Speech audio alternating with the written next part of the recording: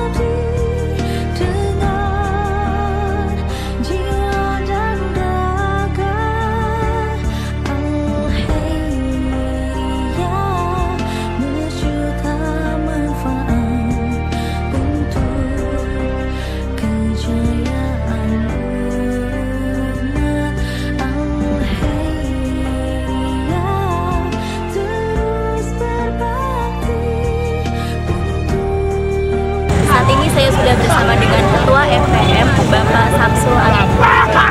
Tujuan dengan diadakannya kegiatan ini Ah, tujuannya sebetulnya yang pertama kita untuk mengingatkan kembali sejarah Citangkil, bagaimana suka dukanya Citangkil, bagaimana perpindahan Citangkil, dan bagaimana masyarakat Citangkil ketika itu mempertahankan haknya. Yang saat itu eh, masyarakat Citangkil benar-benar dalam keadaan posisi terjepit. Di mana ketika 1973 terjadi eh, perpindahan yang diawali dengan pembebasan kemudian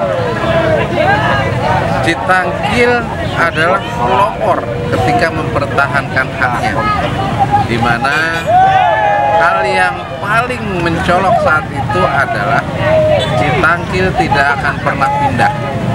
Sebelum Alheriah diganti sebelum masyarakat disatukan sebelum makamnya disediakan. Nah inilah ketika itu Citangkil mulai meniti sejarah bahwa Citangkil nggak akan pernah luntur. Citangkil akan pernah ada dan Citangkil tetap harus menjadi Citangkil. Sehingga ketika terjadi perpindahan namanya pun nggak dirubah tetap Citangkil. Nah, bahkan eh, para tokoh-tokoh Citangkil yang saat itu banyak berjuang untuk Citangkil kami jadikan nama-nama jalan yaitu Jalan Buyut Arman, Nisan Buyut Arman juga ada di Makam Balung. Kemudian ada Jalan Haji Arifudin, Nisan Haji Arifudin juga ada di Makam Balung.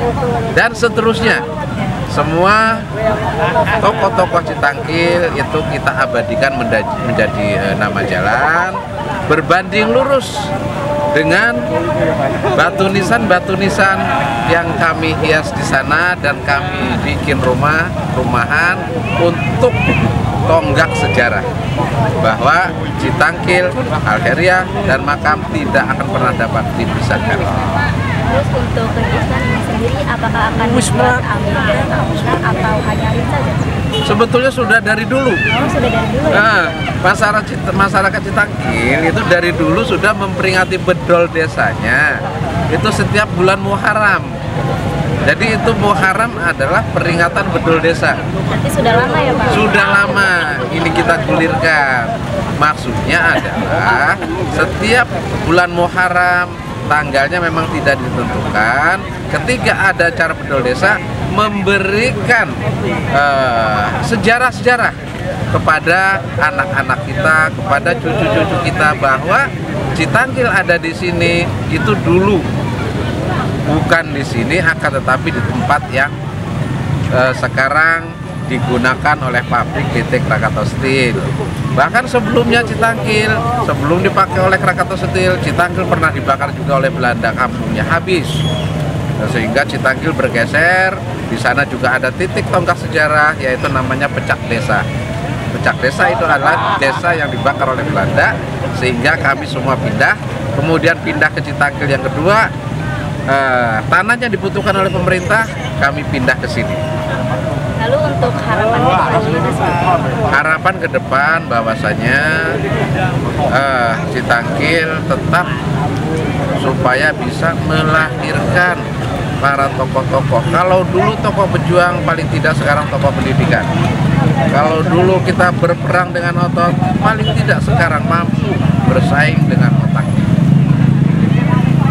Terima kasih ya Pak. Baik.